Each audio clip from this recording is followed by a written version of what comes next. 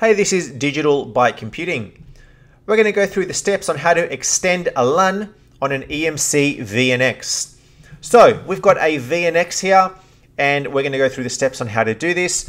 We're assuming you already know how to create a LUN and that you have some LUNs and that those LUNs are assigned to a storage pool. We're not going to go through those in this video. Uh, there are other videos that I have on how to do those other things. So you've logged in, you go into storage, into LUNs. You're going to have some LUNs listed here. Now, first thing you want to do is before you go and extend a LUN, you want to make sure you've got enough space on your storage pool that these LUNs are assigned.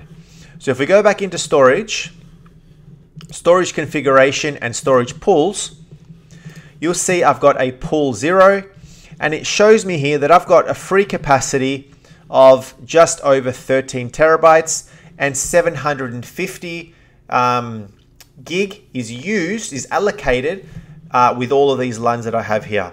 So I've got plenty of space to extend a LUN, right? Essentially, I've got 13 terabytes worth of space that I can extend many LUNs, okay?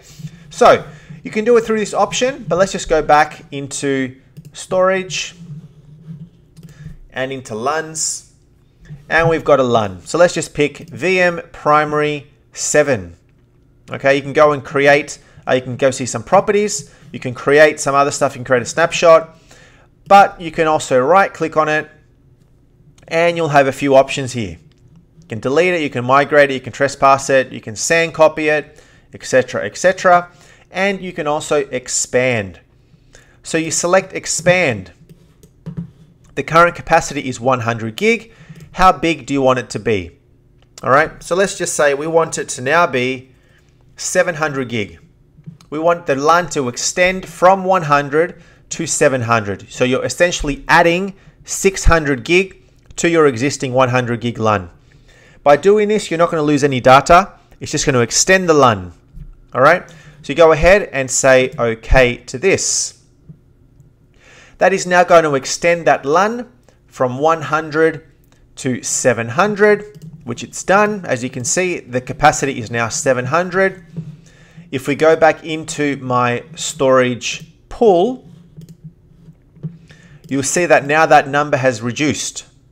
All right, and that is because of this extension that we've done. So that has now gone down.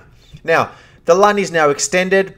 Um, now, if you are using something like VMware, for example, you'll obviously have to go and rescan your data stores, rescan your HBAs, your storage on a host to be able to pick that up. And then from the VMware side, you will then go and extend that LUN itself. We're not going to go through that on this video, but that is the simple steps on how to extend a LUN on an EMC VNX.